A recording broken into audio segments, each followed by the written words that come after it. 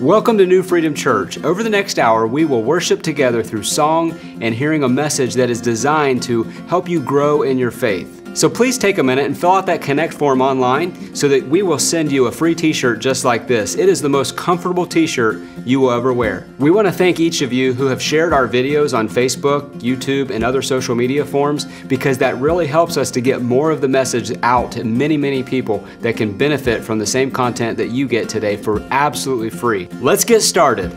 Welcome this morning in the name of the Lord. Welcome to those of you who are here and those who are watching us online. My name is Dennis. I'm the associate pastor here at New Freedom Church. I get the honor and the privilege of serving with my friend, Pastor Joe. And it's an honor to do that. And I'm thanking so much for allowing me to, to share with you today and here from the pulpit. I don't get to do this very often here, but uh, I appreciate, Pastor, that uh, you allow me to do this today. Of course, you understand that we are doing Christmas carols. And so I asked my wife, I said, Joy, what Christmas carol do you think I should do today? You'll never guess what she said. Joy to the world. And I have my tie on that says Joy. I wear this once a year. It's on our marriage contract that I have to wear this tie one time a year. So, guys, when you get married, make sure you read the fine print on those marriage licenses. And of course, Holly or Joe, whoever it is, my wife thinks you're the most wonderful people in the world because you put her name in lights. Christmas is a time of year that uh, she can get really obnoxious sometimes because her name is everywhere. Everywhere we go, oh look, oh there's, oh there's my name, oh there's my name. Oh, get over it. It's not Christmas is not about you. But uh, all kidding aside, this has been a special Christmas for us because um, this is our 50th Christmas together. And so it's been a really special time. Uh, we've uh, known each other since first grade. And uh, when I was 16, went to the altar and accepted Jesus. And the song that we sang I just remembered this. The song that we were singing was this If you want joy, real joy, let God come into your heart. So not only did I get the joy of God in my heart, He put us together. So I have joy every day, which is even better. It's even better. but uh, this is, we are uh, doing uh, uh Joy to the World. And uh, I wanted you to, thank you. I wanted you to, uh, I read this story. I read this story uh, this week. It was about a little girl in a Sunday school class.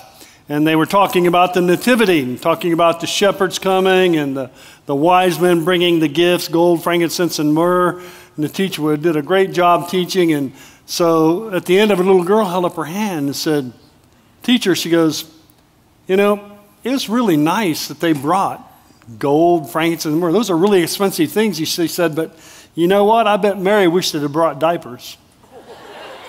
of course, they didn't even have diapers back then, but I just thought that was a cute story. So, this particular hymn was written in 17, 1674 by a guy, man named Isaac Watts. Isaac was a, uh, a really a good Christian man, and he had been to church and he was tired of singing hymns that sounded like funeral dirges.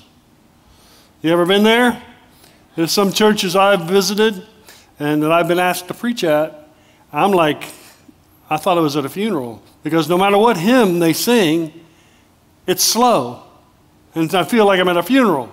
So anyway, this particular man thought he would write, he wanted to write a, he wanted to write a song that was more joyful and upbeat and fast. And so he wrote the words to the song and uh, he actually said this He said, To see the dull indifference, the negligent and thoughtless air that sits upon the faces of whole assemblies, while the psalm is upon their lips, might even tempt the charitable observer to suspect the fervency of their inward religion. He's saying, you know, once in a while, it almost sounds like they really have joy. And that's one of the things that I think that we're missing sometimes in the church is joy. And we're missing joy in our lives because we let too many things in that can take our joy. See, we get mixed up between what's joy and happiness. Happiness is a feeling, joy is something that's in your soul. See, with happiness, you can have sadness, but there's no opposite of joy. And joy is something that comes from God.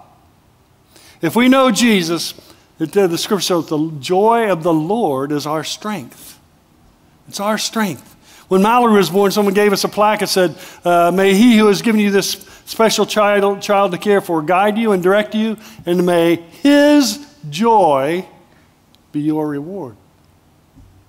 Now, he's not the only one that's got joy out of her life. We were supposed to get joy from her life. Is a special life. And so we, uh, we, we, we, again, we get, we get mixed up between joy and happiness because, see, happiness can come and go. Sometimes we're happy, sometimes we're sad.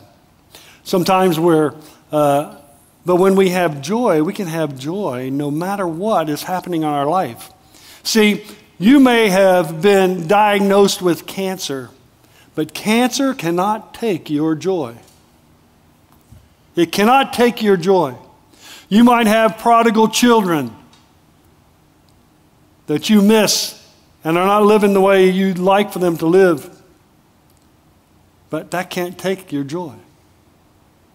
You might have lost a loved one, and it's sad, but it cannot take your joy if you know the joy of the Lord.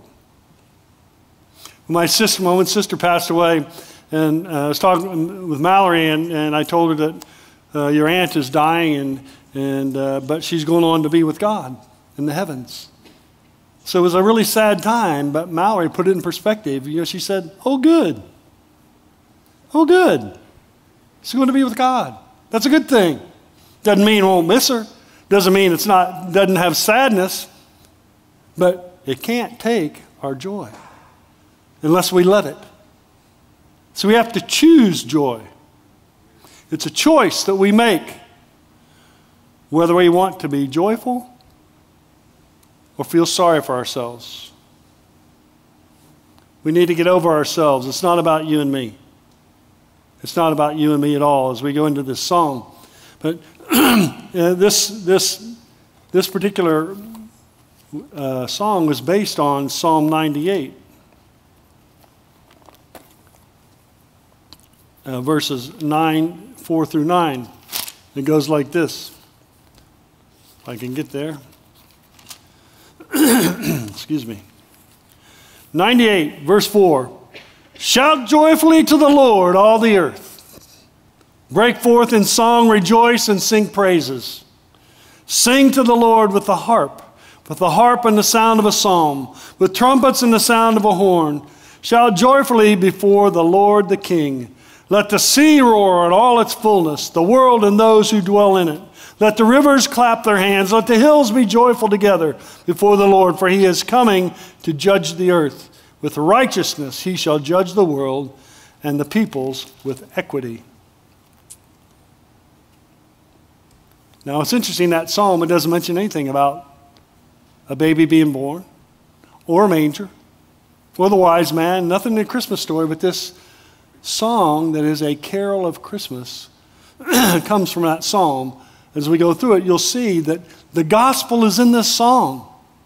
The gospel is in this song. What this song you'll see is, is going to talk about is going to talk about how we live and our testimony to the world. Our testimony to the world. Joy to the world, it says, for the Lord has come. that earth receive her king. What's joy? Joy is gladness. Joy is shouting for joy, glee, delight.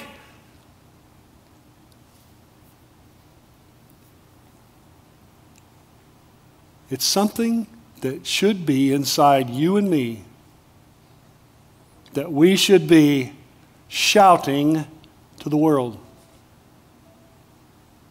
either by saying it or more importantly, by living it. See, no matter what is going on in this world, this world cannot take your joy unless your joy is in the world. If it comes from the world, then you can lose it. Because circumstances will change, things happen. And so it will go away. But if your joy is in the Lord, you trust in Him, your joy cannot be taken. Doesn't mean you won't get sad. Doesn't mean you won't get uh, upset about things, but the joy of the Lord is in you. When things happen in this world, people are watching us. How we're reacting to what's going on in the world, what's going on in our lives. What should come through to them is the joy of the Lord that's in our life. If you don't have that joy, then you don't know Him. You don't know Him.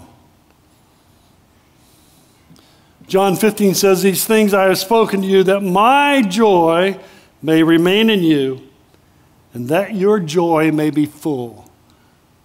The Lord wants us to be full of joy, overflowing joy.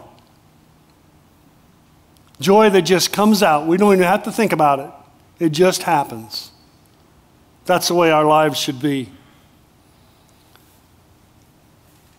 Joy to the world, for the Lord has come. That is our joy. That is our message to the world. The Lord has come. The question is, He's come near and He's arrived, and He's come here to seize your heart and my heart. He has come to seize our hearts. He wants our hearts because He knows that if He has our heart, He has everything about us. He has my wallet, He has my family, he owns my house, He owns my car. Everything is His. None of it's mine. I wouldn't have it if it weren't for Him. I wouldn't have my family, I wouldn't have my children. We wouldn't have had to wait 16 years for this angel to be born. Everything and see, he comes and wants our hearts, and this is what he says to us in Matthew. He said, Come unto me, all you are weak and heavy laden, and I will give you rest. He wants us to have rest. Joy will bring us rest. We have to choose it. We have to choose it. Lord has come, and then he, asks, he wants us to receive him, take him into our lives. See, whenever someone takes time, amazing things happen.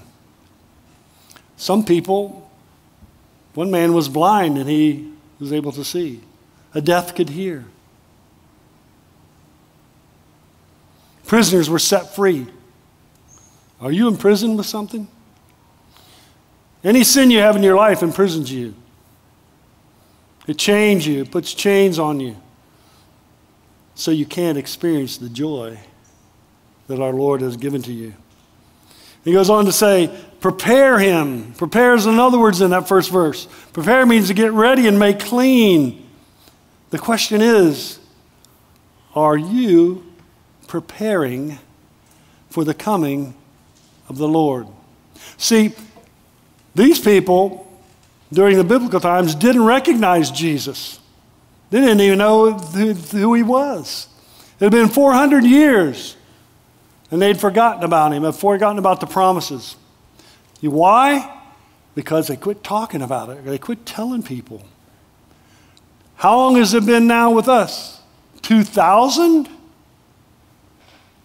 Are we going to make the same mistake? Are we going to quit talking about him? We're going to quit living for him because it's been so long. We're waiting for him to return because he is going to return. Us like a thief in the night. We have to be prepared. We don't want to be like the ten virgins, the parable of the ten virgins. Five of them filled their lamps with oil, the other ones didn't. And when, and when, the, when they came, the, the ones who didn't have oil went to borrow the oil from the ones, the uh, virgins who had it. You and I can't borrow from someone's salvation. Oh, I'm good. I'm good because my dad's a preacher. No, you're not. I'm good because my family went to church their whole life. No. We have to work out our own salvation. We have to prepare our own hearts. We have to pray, prepare room for Him. Not be like the innkeeper, and there was no room when He came. They sent Him out to a, to a stall. Do we do that with Jesus? he comes to us. Do we let him abide here or do we put him off? Well, just wait a little while. I'm not quite ready yet, Lord. I got some more fun I want to have. I don't want, I don't, I don't want to commit yet because it's no fun being a Christian. Ha! I've had more fun since I became a Christian I've ever had my whole life. The fun I thought I was having was just, it didn't last. Now it always lasts. He never runs out. Verse 2, he talks about joy to the world, the Savior reigns. The Savior, Jesus came as our Savior to save us, to set us free, to save us from the, the curse of death, the promise of inviting Him into our life, and we can live eternally in the heavens with Him someday. We can all be together. That's my prayer. I want us to all be together in heaven. Every one of us someday. That'd be great. We can just have New Freedom Church up there on this side of, this side of the, uh, the, the altar. We can all be there. I'd be, wouldn't that be great to see each other there? I want to see you all there. You know, we have to work out our own salvation because Joy and I joke about this, but it's really kind of silly of us because we like going, when Jesus comes back, comes back, Mallory's going. If Mallory ain't going, ain't nobody going. And so we want to be, stay close to her so maybe we can grab onto her foot or something just so we can get in, but it doesn't work that way. It doesn't work that way. We have to be, we have to find the Lord ourselves. We have to prepare ourselves for the Savior, Emmanuel, God with us. It also talks about in verse about heaven and nature sings. You ever notice how nature, you like to get out in nature? Nature sings if you'll stop and listen. There's a guy down in Florida who was, one Sunday he didn't come, his wife was there, and, and, and I said, Where, Where's your husband? She goes, He went fishing. And I said, Wow, I hope he finds God out there. It's his nature. So that afternoon, I saw him in the park, and I was just joking with him. And I, and I said, uh, How was fishing today? Did you find God out there? And he got real embarrassed. And I said, No, no, no. I said, You probably heard a lot better sermon out there with him than you heard from me. We can find God everywhere. But the, the funny thing about it is, he felt so bad about it, the next day he brought me a mess of fish that he caught. And we ate for a week. I didn't mean for that to happen. But you can find God everywhere. Man, one of the places, one of the things I like the most is when it first snow and you wake up in the morning and it's covered the ground and nothing has been in it or stepped in it. That really speaks to me of God's nature.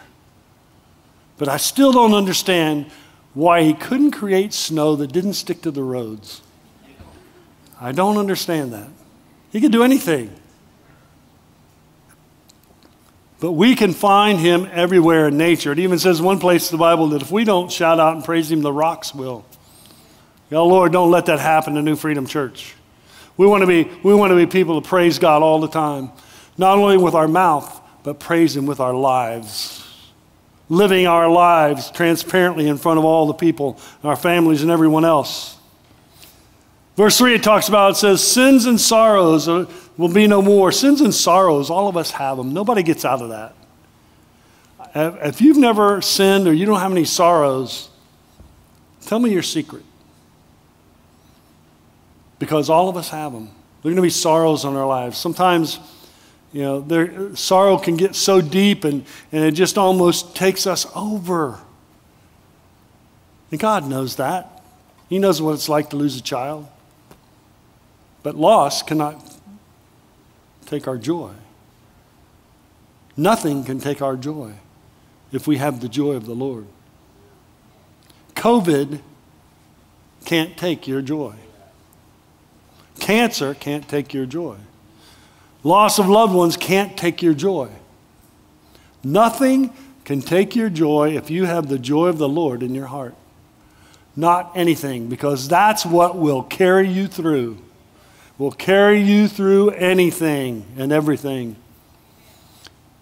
Sins and sorrows sometimes they can they can they can become like thorns in your life, you know? You ever have some things that are people that are like thorns in your life? My wife probably I've been a thorn for her for many years. But she's been kind. And she trims it off so it doesn't stick her. But we all have people like that, don't we? And we have situations you get into that it gets thorny and it's uncomfortable, or like you get a rock in your shoe. See, those kind of things happen to all of us, but those still things still can't take our joy. Nothing can take your joy. I know I've said it a lot of times, but you'll hear it a lot more too. Nothing should take your joy, the joy of the Lord. He talks about his blessings, his blessings flow. Sometimes people don't think they get blessed. If you don't think you're blessed, turn to Psalm 103. 103, and it tells you all of them. I'll read a few. Psalm 103, it says, Bless the Lord, O my soul, and forget not all of his benefits. Okay, you ready to hear them? He forgives your sins, heals your diseases, redeems life from destruction, crowns you with loving kindness, satisfies your mouth with good things so that your youth is renewed like the eagle. He executes righteousness and justice for all who are oppressed. He, uh, the Lord is merciful and gracious, slow to anger, abounding in mercy. He will not always strive with us, nor will he keep his anger forever. That's a whole, that's a whole chapter of his benefits. And if you know him, you have all these benefits. You can't say that you don't have any benefits because he does. He does blesses us all the time. And he wants those blessings to flow out of us. Flow is another word that's in this, in this hymn that flows. Blessing should flow out of us. Flow means to pour out or to deliver. John 7 8 says this He that believeth on me, as the scripture hath said, out of his belly shall flow rivers of living water. To flow out of us, to pour out of us. That's where our life comes in. We live it. We don't talk about it, we live it. Sometimes we have to talk about it. But the best way to do is live it. Live it in your life. Live it all the time. Verse 4 talks about He rules the world with truth and grace. What two great words truth and grace. You know why they're so? Because God can, will never lie. What He says is true. He says, I am the way, the truth, and the life. So you can count on Him always being truthful with you. This word is the truth. There's not a word in here that's not true. Not a word. People want to change words and, and, uh, and they want to, we want to read it and go, ah, that verse isn't for me.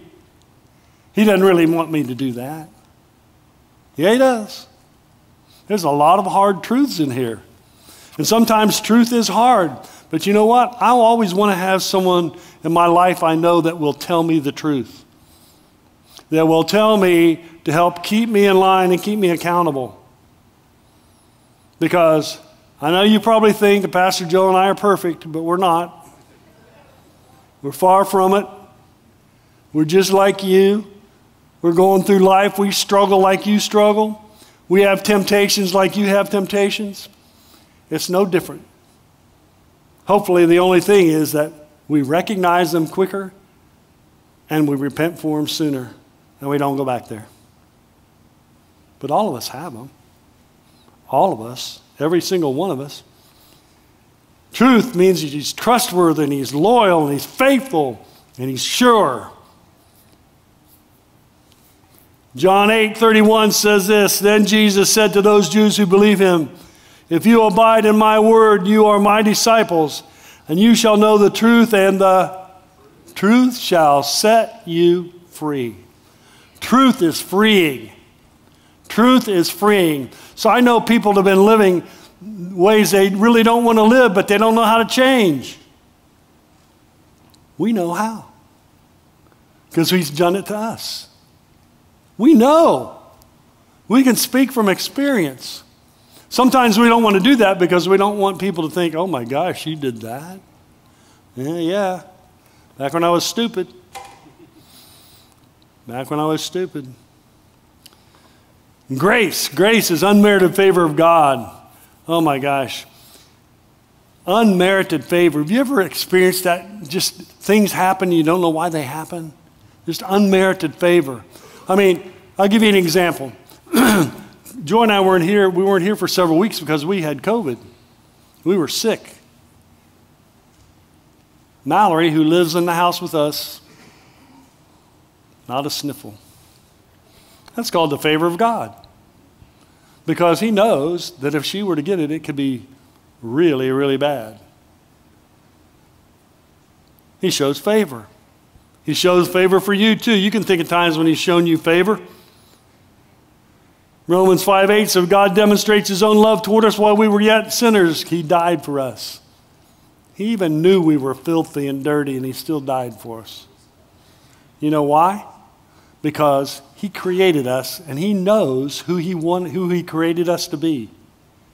And it's not that person. Our goal is to find out who he created us to be and then become that person with his help and help others while we're at it. We talk about, uh, goes on to talk about the glories of his righteousness. Glory, righteousness, being upright, being holy. Luke 2 13 says, And suddenly there was with the angel a multitude of the heavenly hosts praising God and saying, Glory to God in the highest, and on earth, peace, goodwill toward men. You know, while I'm thinking about it, you know, it says, he also said, uh, he find joy, full joy. Didn't say happiness. He never uses the word happiness. He always uses the word joy because there is not an opposite of joy. We get that mixed up, and then we and we think, and, we, and all of a sudden we're Christian, and we wonder why we're sad or things don't go right, and we we lose our happiness. We're like, we shouldn't do that. You're right, we shouldn't, because things happen. Everybody has them. It's what we do after them that makes the difference. Talks about the wonders of his love. Well, wonders are miracles. Well, Psalm 136, to him alone does great wonders, for his mercy endures forever. I remember uh, Miss Mary telling me the story about her son. He was in Vietnam, and he, she was worried about him, and he prayed, and, and found out later that uh, he was in a, a firefight, and he ducked or moved or something and didn't get shot. And it was at the same time she was praying for him. That's miraculous. That's the wonders of God. One of the greatest wonders of God is when children are born. Oh my goodness. I was 36 years old when Mallory was born. I was a health teacher. I had two master's degrees. And I'm sitting there watching Mallory being born and going, wow, she was really inside my wife. It was a wonder. The birth is a wonder. One of the greatest miracles ever when babies are born. I'm born healthy even a greater miracle. And also, one of the great miracles and the wonders is when a sinner comes to Jesus. The greatest wonder ever, the greatest miracle. Well, we've been talking about joy. Now, how do we find joy? Well, there's a real simple formula. There's an acronym for the word joy. It goes like this J, Jesus. O, others. Y, you. That's a formula to live by. Jesus first, others second, then you.